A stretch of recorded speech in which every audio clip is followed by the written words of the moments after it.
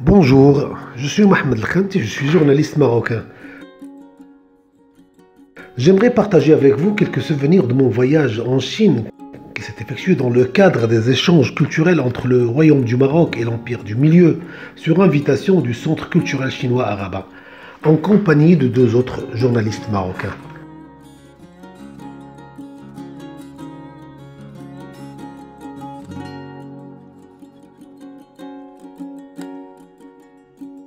Notre visite était dans la province du Sichuan, à Chengdu exactement, et ses environs.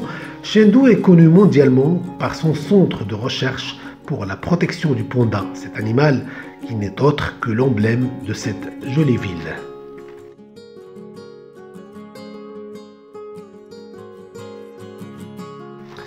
Parmi les choses qui ont attisé ma curiosité en tant que Marocain et en tant que touriste était cette large ressemblance entre la musique, la danse et les habits traditionnels chinoises et notre folklore.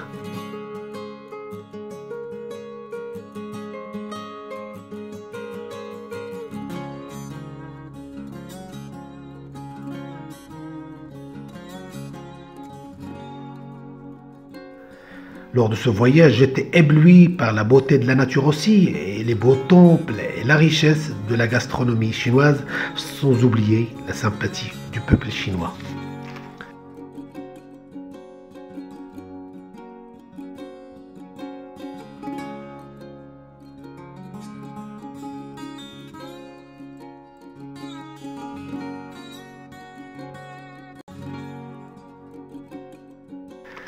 J'ai eu plein les yeux lors de ce voyage en Chine, ce merveilleux pays qui est, à, découvrir pour tout le monde.